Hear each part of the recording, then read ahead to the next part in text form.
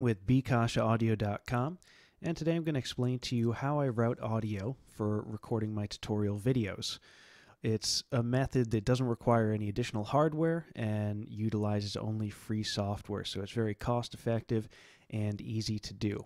So say you want to record a tutorial video and you want to be able to route audio from a DAW into your uh, screen recording or uh, maybe from other audio sources you want to route audio around.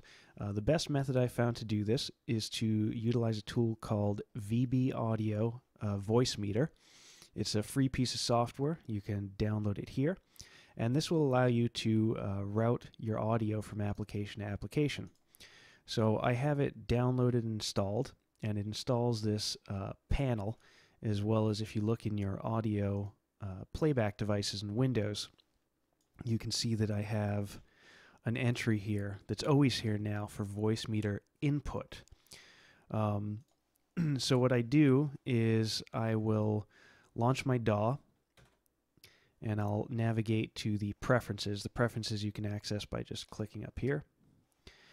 And I want to, normally I have selected my MBOX 2, but if I want to be able to pass audio from Reaper, uh, into the screen recording software directly, I'll select Voicemeeter Virtual Audio, which is this audio device that's installed when you install the panel. And that can pass anywhere from uh, one to two channels of audio all the way up to eight channels of audio over to your recording software. So once I select this, audio is now passing from Reaper to the Voicemeeter software. And the next thing I want to do is I want to launch the Voicemeeter panel. So if you just go to your Start menu and type, oh, type Voicemeeter, you can select the application. And I have it running here. You have to have this application open to route the audio. And you'll notice a number of things. First, we have our hardware input channel 1. Now for this, I have the uh, input channel for my mic selected. So my microphone is passing through the Voicemeeter software. And I have it set to mono. If I had it set to stereo, you'll hear that my voice only comes out of the left channel. We don't want that. We want it to uh, come through both channels. So I have that set to mono. And I can also mix the level of my voice if I want in this panel. And then the next thing that we want to look at is the virtual input. Now what we selected in Reaper, this, the Voicemeeter Virtual Audio, is routing to this third channel, the virtual input. And if I play back some audio from Reaper, you'll see that signal come into this channel.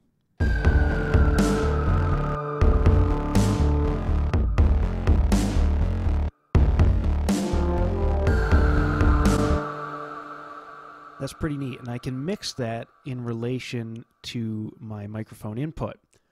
You also have this second input here. So if you had a secondary mic or a secondary audio source you wanted to mix in, you could do that as well. Whoops, didn't want to open that up. Um, so that handles the routing for this. Now, how do you get it into your screen recording software? So I'm utilizing OBS, uh, Open Broadcaster software, which you can see here, to do all my screen recording. And if you navigate to settings and then you go to audio, for the microphone auxiliary audio device, I select the Voicemeeter output. So what's happening is audio is passing from the DAW into the Voicemeeter panel. I have my microphone also going into the Voicemeeter panel. And then the output of this panel is being routed directly into the OBS software. And this allows me to mix in voice and uh, DAW output at the same time and get it directly into the video.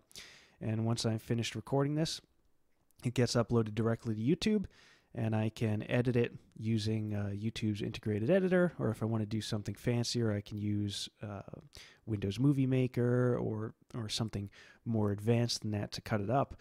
Um, but it's a pretty straightforward and quick workflow, and it's the easiest way I found to do it without having to have a secondary audio interface or uh, external mixer.